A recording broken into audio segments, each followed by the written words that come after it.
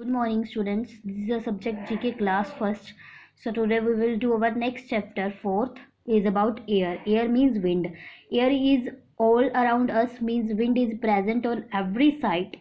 We cannot see it air. We cannot look at air but we can feel it. Feel me detect or notice it. Now read the this line below this picture. Tick below the pictures which are filled with air. You have to see from the book. There are six pictures. You so you have to tick the correct correct option which which thing is filled with air. So see the first picture football definitely filled with air. You should have to mark there tick. Second picture is it filled with air? Not. Then close it. Third picture balloon. Balloon is filled with air yes definitely. So you have to take this option. Bat mm, definitely not.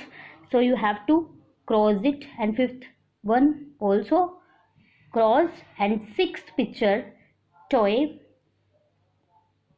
This one toy is filled with a ear. Definitely tick this option. So complete this chapter on book and revise this also